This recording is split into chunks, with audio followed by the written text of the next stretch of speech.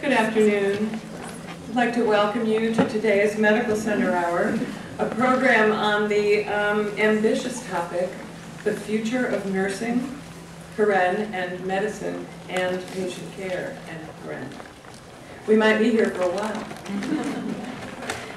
Um, But no, in this hour, we will be talking about a very important subject, um, and and that is the future of healthcare. Um, I'm Marcia Day Childress from the Center for Biomedical Ethics and Humanities, which produces this weekly Medical Center Hour for you.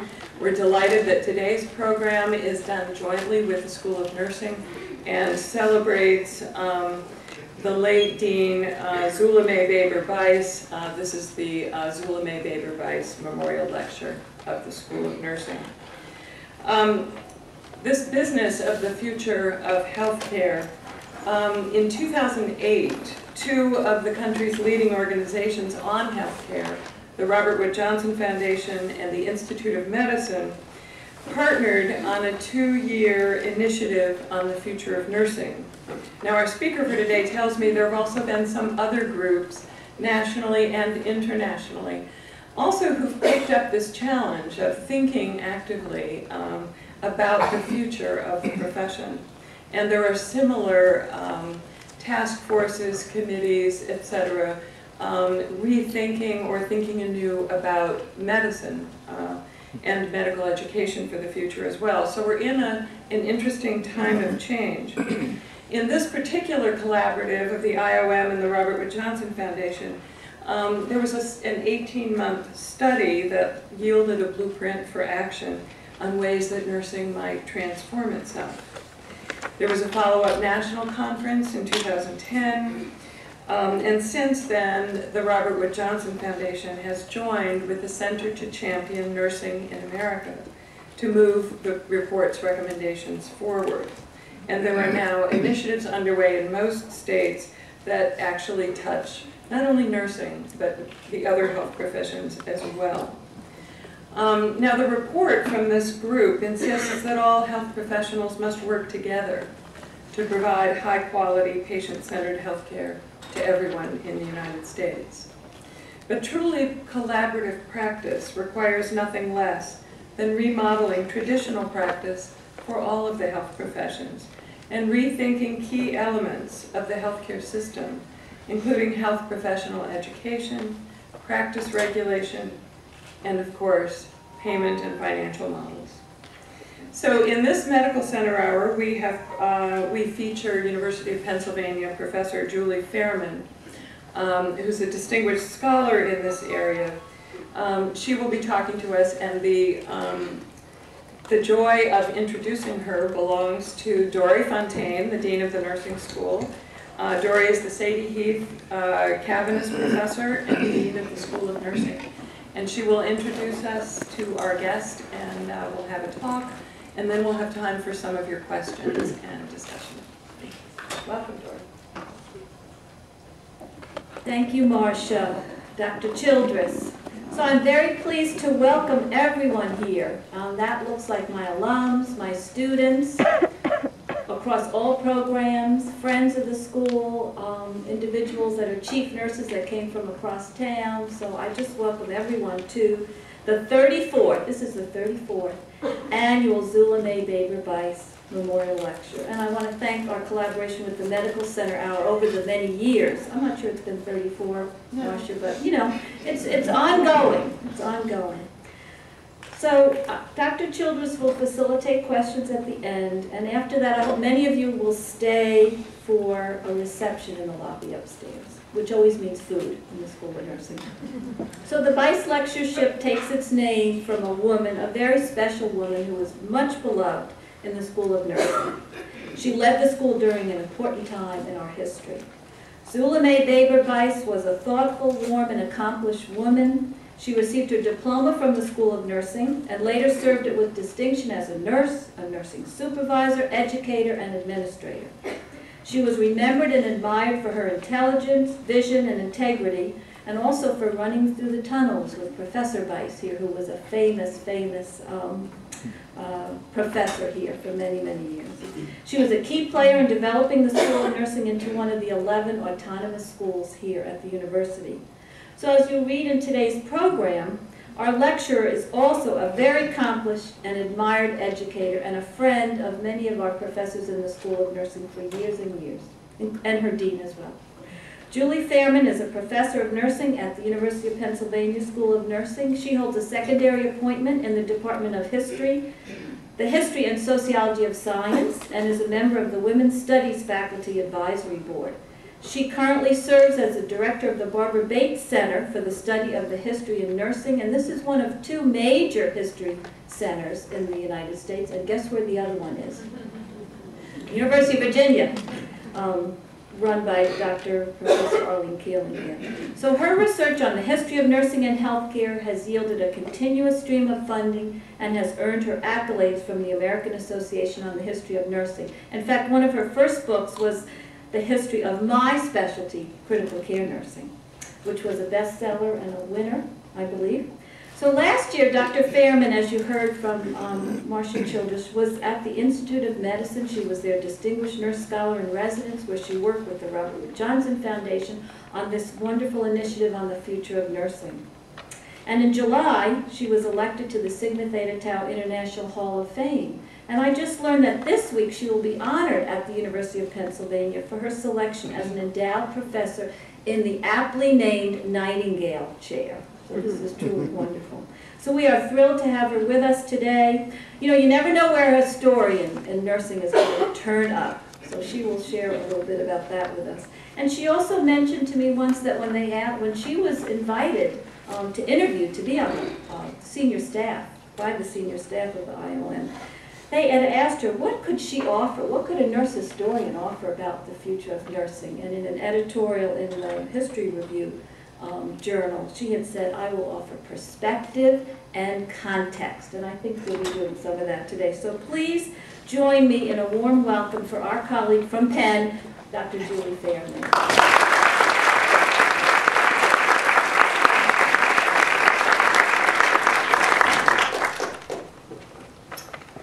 Well, good afternoon, everybody. Can you hear me? Great. Okay, well, I would like to thank everybody for this great honor to uh, be able to talk with you today.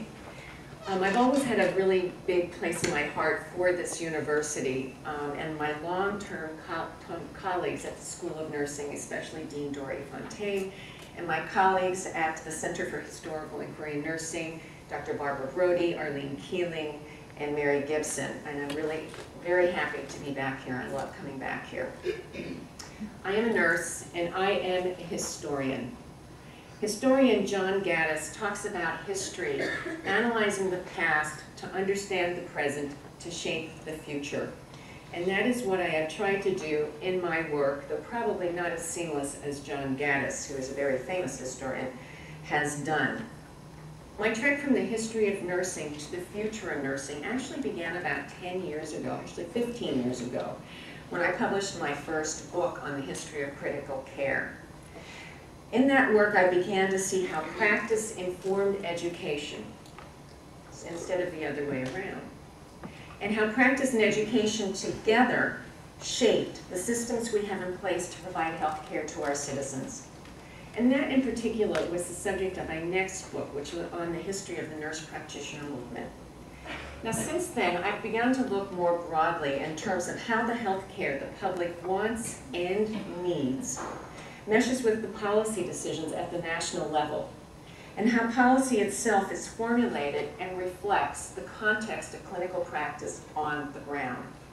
So what I'm doing now is looking at the reconceptualization of primary care from 1950 to 1990 and looking at all the interesting and innovative models that start creeping up in that time period in terms of how we can provide health care at particular times and places to particular groups of, of people. And we will see, in fact, how those models shaped or perhaps didn't shape national policy. Now we all know, and I don't have to tell you, that the healthcare system is fragmented and that uh, we are much focused on acuity, when in fact the great need for health services for the public rests in chronic care management, health promotion, disease prevention, community-based care, and public health. Although we're always really glad to have that acute care needs reside outside of an acute care focus. Now, the background, Marcia gave a little bit about the background of the Future of Nursing Commission. Um, it started in 2008, a consensus project between Robert Wood Johnson and the Institute of Medicine, resulting in a blueprint for strategy for moving patient care forward. This, it's really critical to understand this report, although it used nursing and thought about nursing, was really about transforming patient care. It was released in 2010 on October 5th. It immediately crashed the IOM server, which I thought was kind of ironic. A nursing report crashing an Institute of Medicine server. Amazing, amazing attention. So we have the report. The next thing was on No- November 1st. It was a major consensus conference that brought together stakeholders, both nursing and non-nursing, to look at the blueprint and develop strategies for moving the recommendations forward. The next step in the process has been the campaign. Some of you may have seen some of the literature from the Robert Wood Johnson Foundation, but that foundation paired with AARP, the biggest consumer group in the country, to develop strategies for moving this report forward. And it has involved media, it has involved all kinds of resources to the states in terms of education, health policy, that is really different than any other IOM report we have seen in recent history. This report has legs and it is moving forward. It was chaired by Donna Shalala, the former Health and Human Services Secretary under the Clinton administration, and co-chaired by Linda Burnes Bolton, who's the CNO at Cedars Lebanon Hospital in Los Angeles. Two very, very powerful and important people. 16 members on this commission, only four were nurses. This was important because it really increased the legitimacy of the report. There were four physicians. The rest were public figures, health policy people, and health management people. Now, let me just say, what, eh, as, when you, when you work with the IOM, what you find is that you can only talk about things that have evidence associated with them. So this is a little caveat. What's in this report is evidence-based. What's not in the report, we didn't have enough evidence to put in the report. So there are gonna be some things people always ask me about what's missing, what's not, and why isn't this here, but that's just my little disclaimer. So this is the main message of the IOM report. High-quality patient-centered healthcare requires remodeling aspects of the healthcare system, in particular nursing. So since its release about a year ago, a lot of things have, has happened. What I'll do is review the report briefly and then go into what's going on. But since the launch, there have been, it, it is, by the way, the most popular website on the IOM webpage.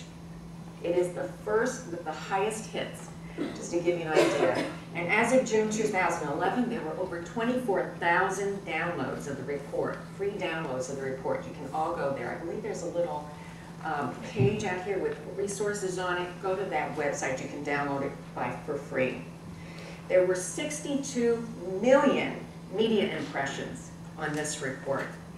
So you can tell people are talking about it, some positive, some negative, all kinds of things, but we at least are getting attention. There have been groups in every state that have coalesced to form partnerships to move these strategies forward. And even the Health and Human Services Secretary, Kathleen Sebelius, mentioned and talked about this report in an interview in the 2011 January New England Journal of Medicine um, issue. The same issue in which there was a scope of practice piece in the perspective section in which I was first author. So this is getting a lot of attention. There are four key messages. The first one was that nurses should be able to practice to the fullest extent of their knowledge and skills. And this goes for nurses across all levels, from generalist nurses to advanced practice nurses. And another caveat, one of my, my research is on nurse practitioners. I really do mean advanced practice nurses, but sometimes I go back and forth between the, the lingo there. Now, I think scope of practice is really important for every healthcare provider, from physicians to public health caseworkers, in terms of how all health professionals can work together and practice together to the fullest extent of their knowledge and skills to provide health care that the public needs. And there are two reasons for this, at least. The one is that in view of the shortage of, the, of primary care providers in this country, and in 2015, an additional 32 million customers moving into the healthcare system, we are going to need all hands on deck. We know we don't have enough primary care providers, plus PAs, plus advanced practice nurses to meet the needs now. We won't have enough in the future. The second is that we have, we invest an enormous amount of money in the education, public money and private money, in the education of health professionals across the board. And unless they practice in an environment where their skills and knowledge are maximized, our investment is not optimized.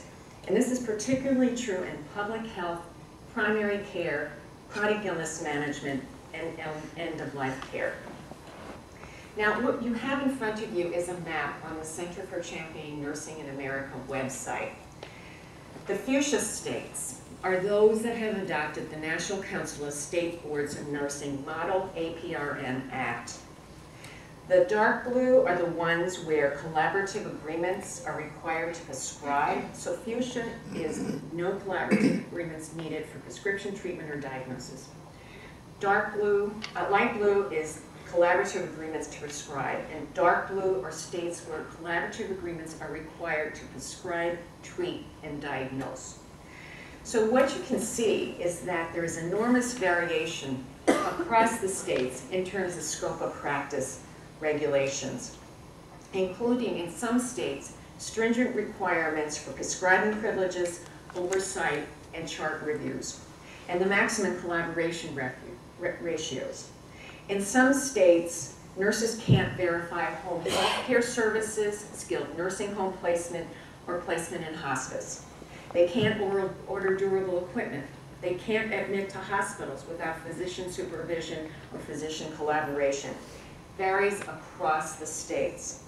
Additionally, credentialing and payment are linked to state regulations.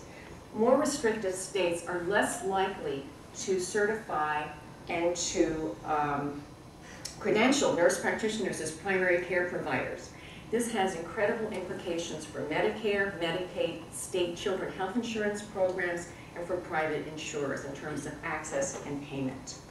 Place matters, by the way. Historians always look at place. Place matters. And the South seems to be a particularly restrictive place for scope of practice barriers. For example, take New Mexico and Texas. New Mexico has independent practice for advanced practice nurses.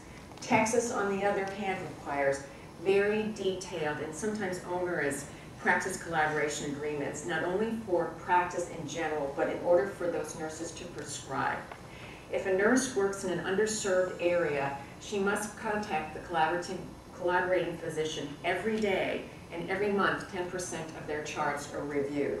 But we can also see this case with Virginia, Maryland, and the district where Maryland has independent regulations and Virginia, and the district does too, and Virginia does not. Now, these barriers are, there is, there's very little evidence for the barriers in general. And um, the variance really does not appear to be related on any performance measure of quality and safety. It seems to be related to the strength of the State Nursing Association, the strength of the State Medical Association, and the strength of public satisfaction and public organizations. This is why the AARP organization involvement in the future of nursing is so critical. Now, another issue with the scope of practice is that the scalability and sustainability of innovations in models of patient care are influenced by scope of practice um, barriers and laws. For example, the success of new models of delivery of care, such as the medical home and the accountable care organizations, depend exclusively, not exclusively, but depend very much on the ability of nurses and physicians and other health professionals to work together and to practice to the fullest extent of their knowledge and skills. They have to collaborate, they have to work together, from health promotion to illness management We see the results of such models in places and states that do have some more liberal practice legislation, and we see it in the VA system. Interesting because scope of practice depends upon the system rather than the place of practice. So these practice, uh, scope of practice regulations in the VA system are more liberal than most of the states in our country. Geisinger Health System and Kaiser- Permanente are two other examples. In state health reform in Massachusetts, for example, after reform legislation uh, was implemented, they began to notice increased waits for primary care providers and increased visits to emergency rooms.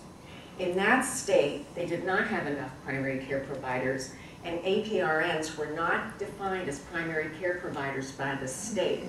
One insurance company claimed that it would not include NPs on their provider panels unless the state required them to do so, despite the fact that they did so in New Hampshire and in Maine. The RAND study, the RAND Health Foundation studied Massachusetts after health care implementation, after health reform implementation, and it showed that using nurse practitioners and PAs to the fullest extent of their knowledge and skills would save the state 4.2 billion to 8.4 billion dollars over 10 years. Retail clinics were the same issue. Minute clinics were first blocked from opening in Virginia, in Virginia, I'm in Virginia, we're talking about Massachusetts here. I wish I was 34, by the way. And so the RAND Corporation studied retail clinics on behalf of the Commonwealth of Massachusetts. And they found that greater use of retail clinics, which are primarily staffed by nurse practitioners and sometimes PAs and pharmacists and physicians, could save the state an additional $6 billion over 10 years. So increasing the scope, not increasing, but expanding the scope of practice and practicing to the fullest extent of their knowledge and skills allows the states to provide high quality and perhaps cheaper um, health care. Transitional care is another model that is influenced in its sustainability and scalability by scope of practice laws. The Coalition for Evidence-Based Practice noted that this is a top-tier example of, of an evidence-based innovation. So Mary Naylor and her colleagues at the University of Pennsylvania developed this model to help elders transfer from the home, from the hospital to the home and to stay in their homes. Evidence has showed that nurse-lead teams can affect a 30 to 50% reduction in hospitalization and save, according to their data, each patient will be able to save $4,000 per patient within a 5 to 12 month um, after discharge. However, restricted scope of practice laws limit what the nurse practitioners can do in those homes in terms of providing primary care and responding to acute episodes. Um, extra visits that they can't prescribe and times would be lost trying to get permission to act. The nurse-family partnership model is also seen as a top-tier example. This is a home visitation program for the first-time mothers who are mostly unwed and mostly low income. And in places where nurses can practice to the fullest extent of their knowledge and skills, they've been able to see a 20 to 50% reduction in child abuse and neglect, and a 10 to 20% reduction in subsequent births in late teens and early 20s. In nurse-managed health centers, we see the same thing. 250 of them in the United States in general, with a service group of 1.5 million people, mostly uninsured and mostly underserved. Evidence from these centers show that clients make 15% fewer ER visits and at least 35 to 40% fewer non-maternity hospital days from these nurse-managed health centers. Now, the Affordable Care Act has authorized $50 million for these centers, and I believe that money was just allocated.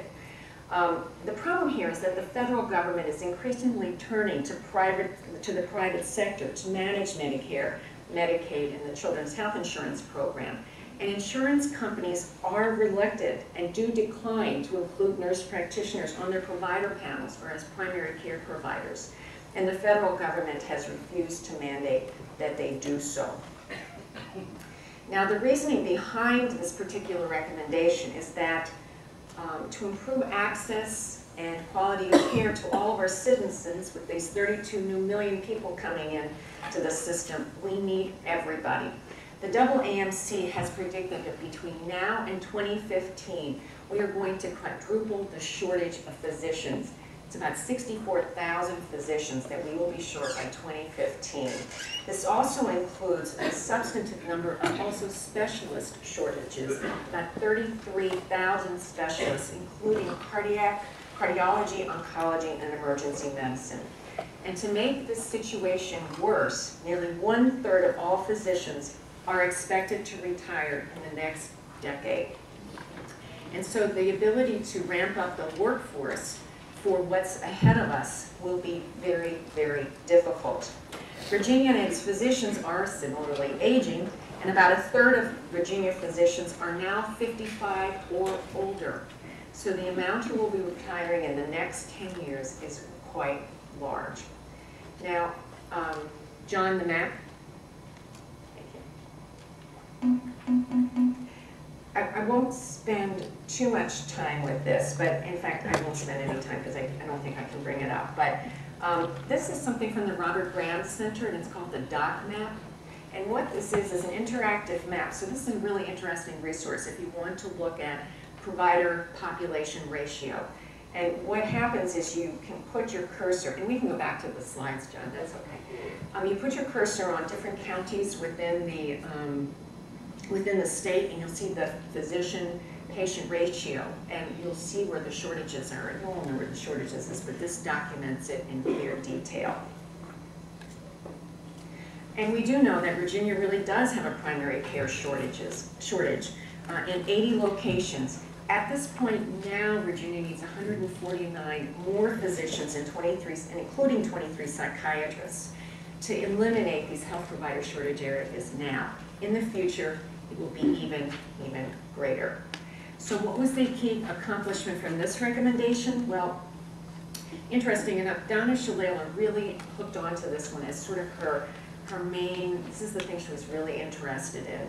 And she has talked to the Federal Trade Commission and what, what we've seen so far is that key congressional members, including the chair and the senior Democrat on the Senate Commerce Committee, has written to the Federal Trade Commission based on the IOM recommendations and urged the commission to review proposed and existing state practice acts for restraint of trade issues. And I know within the last year and a half, at least three states have received letters of inquiry from the Federal Trade Commission. So basically what this this one particular focus key area says is expanding the scope of practice is critical for transforming the healthcare system, transforming patient care is important for all providers to be able to practice to the fullest extent of their knowledge and skills. Now the next focus was education. If nurses are to be as effective as possible in helping to transform healthcare, they'll need to be better prepared to take care of the compl increasing complexity of patients and as patients move into the community. This is the 80% of baccalaureate preparation by 2020 and the doubling of the doctor, doctorate in nursing. So there's six, at least six specific things. You have to remember, we had eight recommendations and 42 sub-bullets, so it's pretty extensive. This report is about 500 pages, and besides, uh, if you don't read it, at least use it for a, dust, uh, a doorstop here. But it's a big thing. Um, so one of the first specific things was to uh, recommend that uh, colleges define academic pathways beyond articulation and that the Commission on the Collegiate Nursing Education monitor this, so define academic pathways. Second is that associate and diploma degree students should enter baccalaureate programs within five years of graduation in order to increase the pipeline and move this recommendation forward. Third is that um, the diversity of the workforce desperately needs to be improved. Number four, collaboration with other health professionals is key in terms of education and practice. And this is where we're seeing actually a lot of the action in the state RAFs, and I'll tell you a little bit about that um, later. And I know that Virginia here has funding from the Macy Foundation to look at collaborative uh, initiatives, and I believe you were just telling me about um, this wonderful end-of-life program with Harvard Macy that um, has been in effect. Um, so you, this is the future, and this is where we're going. Um, doubling the number of doctorates is key because we have severe nursing faculty shortage, And the only way to get people into um, faculty positions is to move them faster through the education pipeline. Um, Ensuring that ten percent of all baccalaureate graduates enter a upper level graduate program within five years of their graduation. And six is nurse residencies, sort of to ease the transition to practice across all levels. And if you change from one place to the next, if you go from public health to ICU and reverse. So lots going on here. So why the 80 by 2020? Where did we get that? Well, there is some evidence and um, there's a lot of rationale. And first of all, the baccalaureate programs emphasize liberal arts, advanced sciences, and advanced nursing curriculum across a wider range of settings than the associate degree programs do. They expose stu- students to leadership, communications, and community and public health, and this is crucial as we begin to move more patient care into the community. And number two, we need more faculty. The evidence here is that there are studies that support the association between education level and patient outcome, particularly in acute care settings. The other piece is that traditionally, only about six percent of associate degree graduates go on to higher levels of education, only six percent. There's no way we can get the faculty and the researchers and the scientists that we need to move the science forward if only six percent move on to a baccalaureate program. Twenty percent of baccalaureate nurses move on to graduate programs, hence the idea of moving baccalaureate graduates faster through the pipeline.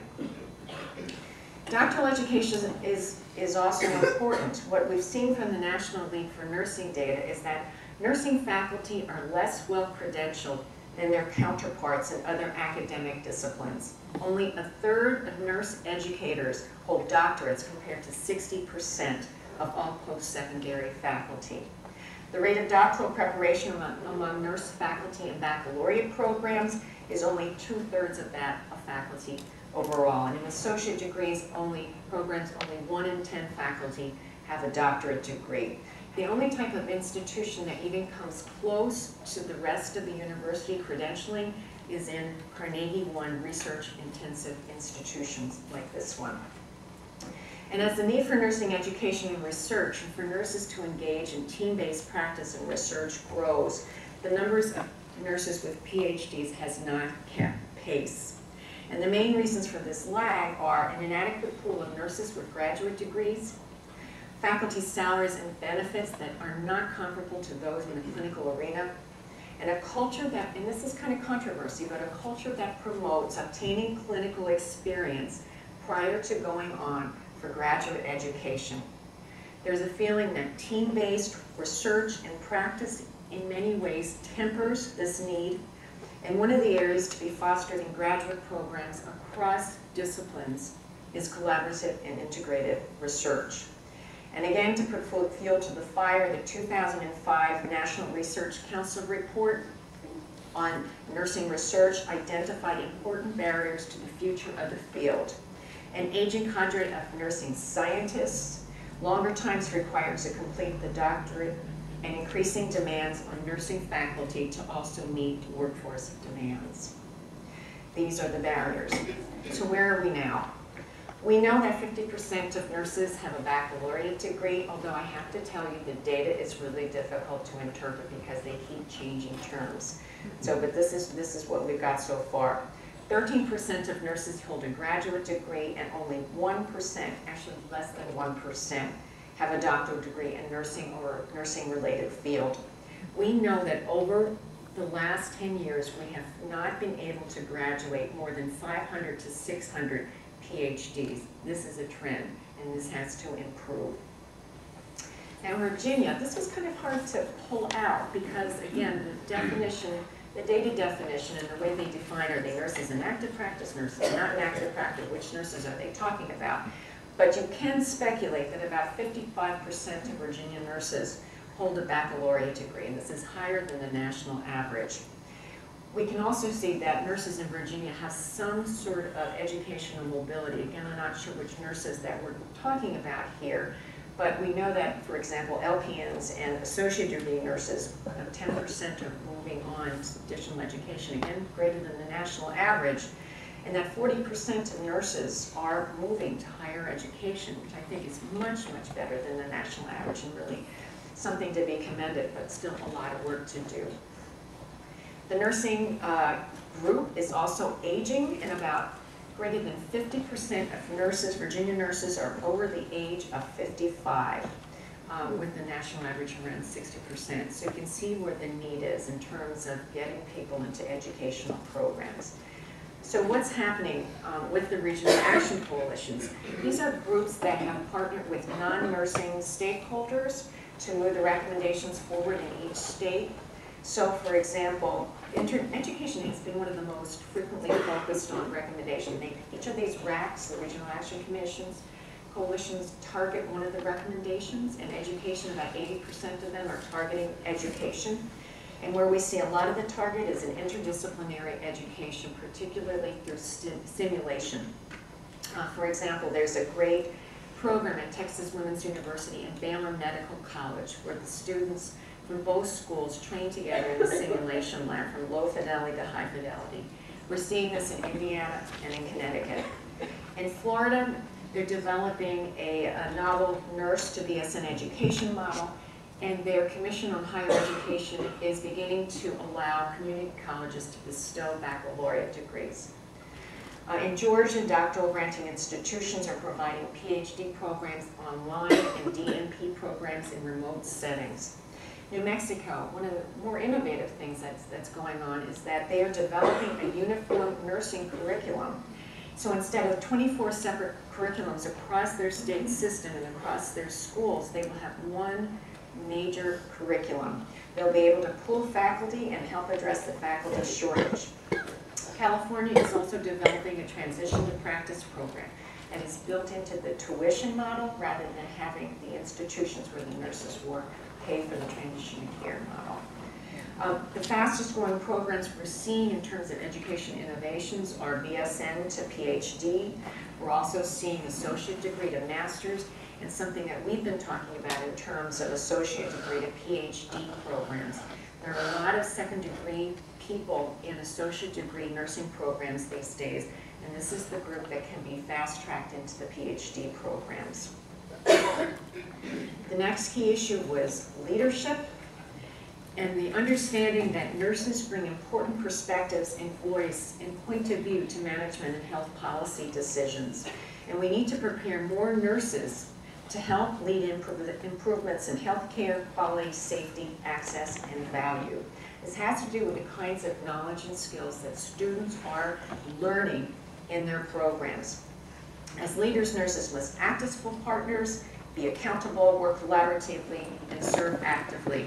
Do not wait to be asked in terms of act, of acting as a leader or moving into leadership positions. And I'll just relate a little vignette I've stolen from Donna Shalala, which also is important to remember. She said she was talking, there was, one of her coaches was talking to a new recruit, and he said to him, when you catch your first touchdown pass, do not dance, do not put on a big exhibit. He said, act like you've been there before. And that is very true, and that's very key for nurses. Act like you've been there before and don't wait to be asked in terms of leadership. Now, what are some of the things that are happening in terms of leadership recommendations? Well, not only do we have nurses at, nurses at HRSA and MedPAC and in Congress and on the new Workforce Commission, Peter Buerhaus is the chair of that, but we don't have any money appropriated for that yet. But there are nurses there in leadership uh, um, positions. Uh, you can see that some nurse leaders are requiring all nurses to have BSN degrees, attain a BSN within 10 years, and a new residency program. And additionally, the Leapfrog Group has announced in July that it will report on a hospital's magnet status in its 2011 report. This is really important because this survey is the gold standard for comparing hospitals' records on safety, on performance, and safety and quality. And the inclusion of magnet status in this survey really recognizes, I believe, the leadership role that nurses play in quality and safety initiatives and in transparency. Last one is data. Um, you know, as I said, we were trying to pull this together to figure out how many nurses do we have, what do we need? It's all over the place. And so what we need is some sort of central place to collect data across the states. So what is happening, and this sounds sort of mundane, but it's incredibly important, is that the National Council of State Boards of Nursing and the Forum on State Nursing Workforce Commissions have agreed to jointly collect nursing workforce data from the states in 2012. Again, a seemingly sort of boring kind of thing, but this will give us an incredible work data database in order to better predict how many nurses we need, what kind of nurses do we need, and hopefully this will help us move forward.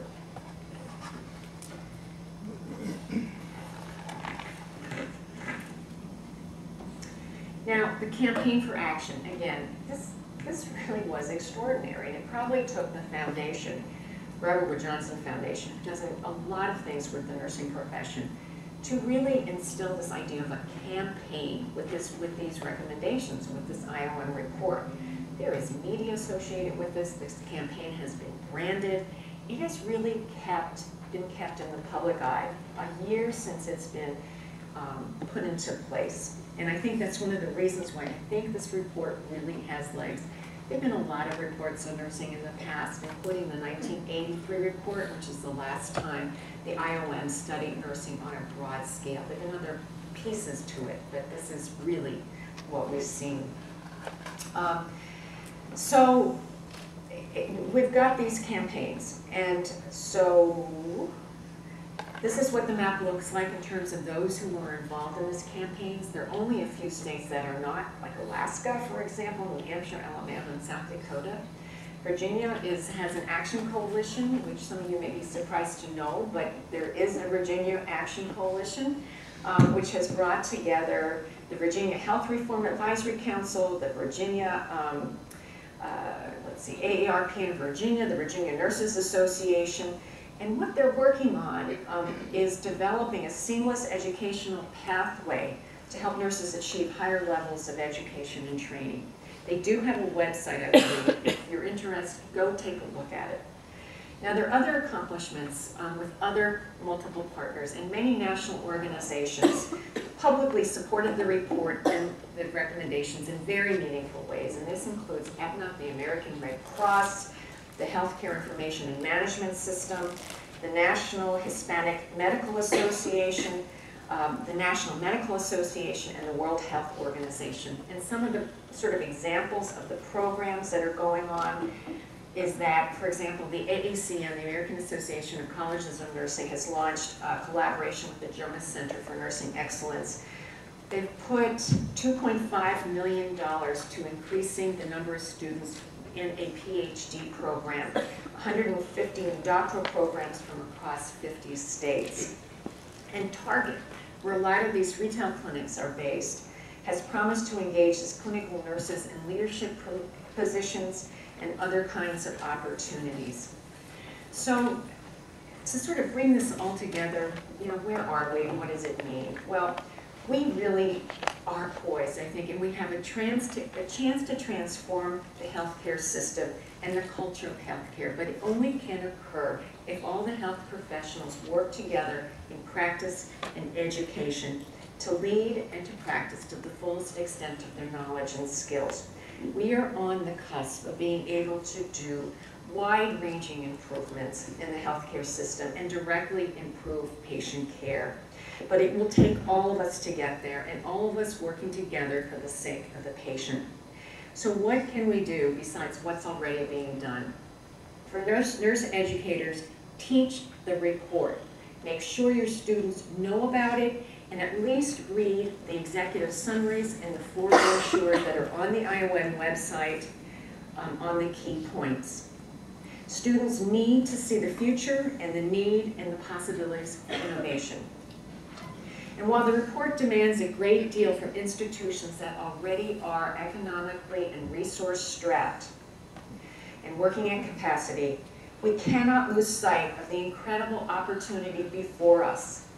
This report was done at an amazing opportune time. Health reform was being debated in Congress. We had a direct line to Congress. And, and perhaps this is somewhat, almost more important, is that most of the major, the nurse, the major nursing organizations are united on this in terms of pushing this report forward. That sort of solidarity we have not seen in nursing in a long time. Now is the time. We all need to be ready and prepared with the skills, the knowledge, and the experience to improve patient care for all. It's time for innovative programs. It's time to look for new places for funding.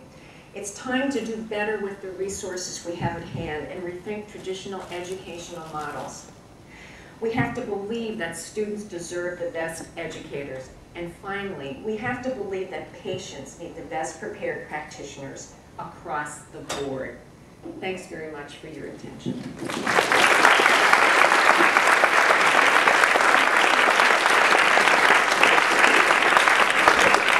Thank you, Julie Fairman. And if you want to stay right there, I will move through the audience and take questions and comments, and we have several minutes for some conversation.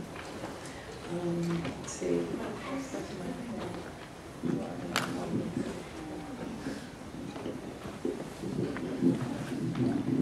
I'm Arlene Keeling from the Center for Nursing History here. Uh, Julie, I enjoyed your talk, and um, as you mentioned, I was wondering, you know, in 1971, there's the extending scope of practice report that was widely read, but um, not much happened. So you're thinking we're better positioned at this point to actually enact the report? Oh, we are so exquisitely positioned right now because of health reform, the shortage of primary care providers, and just a general sense within the nursing community that we really have to work together to move these things forward. There are a lot of contextual factors in place now that really make it an ideal situation for something happening. And one other question, is there an AMA official stance on the response to the report? Um, yes.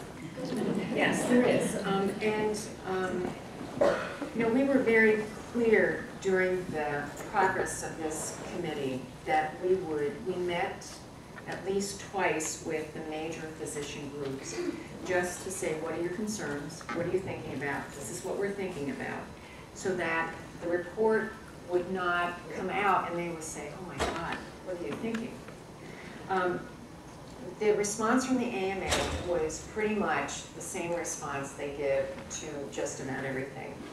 That um, the only profession that, that can practice medicine is the medical profession, and we welcome everybody into providing um, healthcare to the public, but they need to be supervised.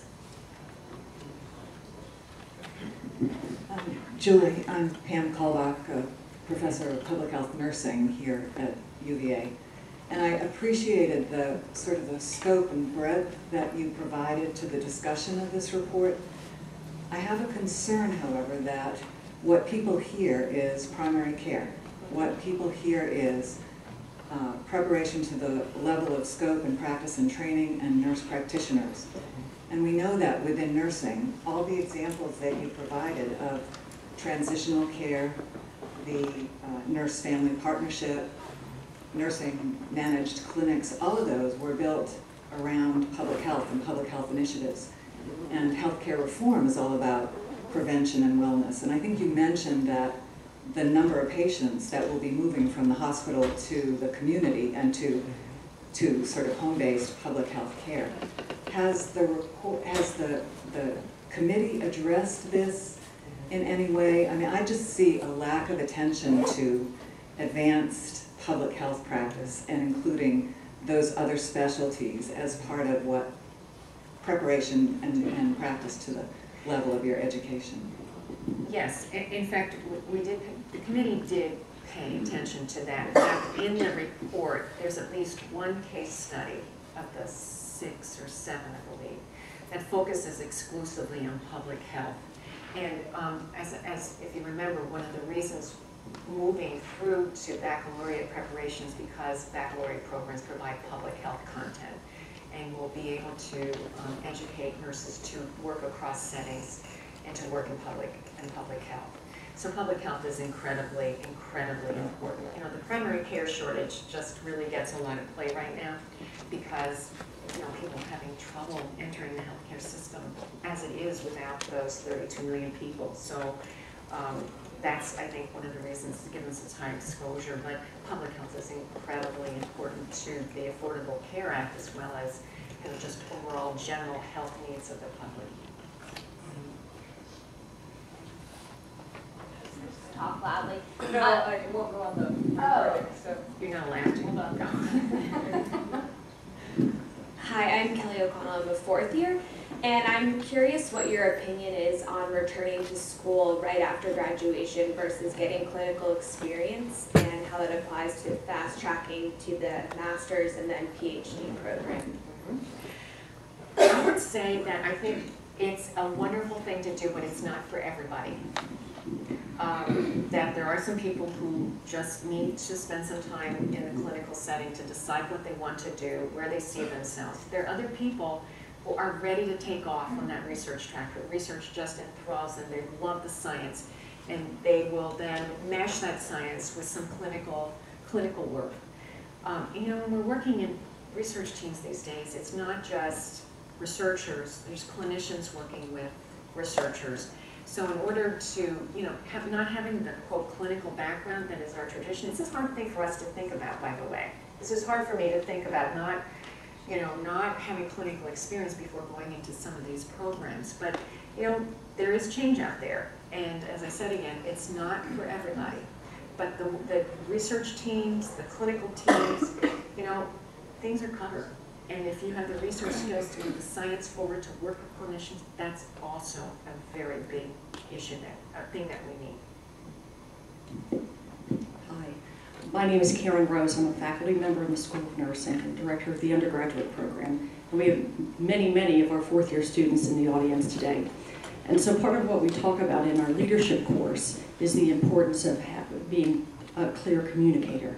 And so my question to you is, can you give an example? What is the, your elevator talk or speech about the future of nursing? What should our nursing students be prepared to say?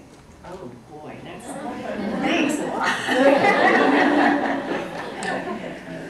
All right, in order to transform the healthcare, I I mean, what would be the message, the, the initial message of the report? In order to transform, transform the healthcare system, we need to transform the way that all health professionals are educated and learn to work together to improve patient care. I mean, that's not a minute, but that says it all in that, in that statement. Other comments or questions? Julie, um, great paper. Um, Tell me if you think magnet status in hospitals have improved care and whether we would look for them as leaders for some of these innovations. Well, the, the evidence for magnet is above my pay grade, Barbara. Um, Though I, I have, I know there is some, and we talked about it in the report, I can't give you the details of it in terms of patient outcomes. I do think there is evidence that shows that patient outcomes are improved, but I can't quote you who did it or where it is. Uh, But in terms of leadership, that's where the magnet status issue hits the road. um, Because of the way that these um, institutions and these systems are governed in terms of participatory governance and involving people across all the health professions in the governance of the system. So that's where the leadership piece. And, you know, we like to say that nurses are really um, the key people for understanding and analyzing and investigating quality and safety. And that's where nurses really do lead in some of these magnet hospitals, and that's where I think is the, is the key, the key issue. Other questions? Sure.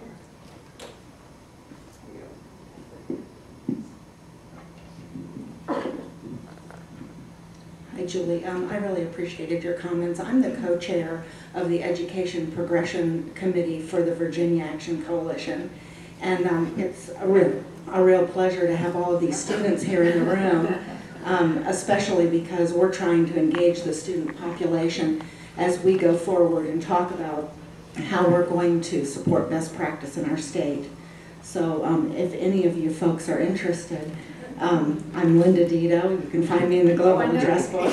And um, we'd certainly be happy to have you work with us on this initiative. I think one of the most important things we can do is get the students involved and make sure that our ADN students understand where we're going and why we're going there.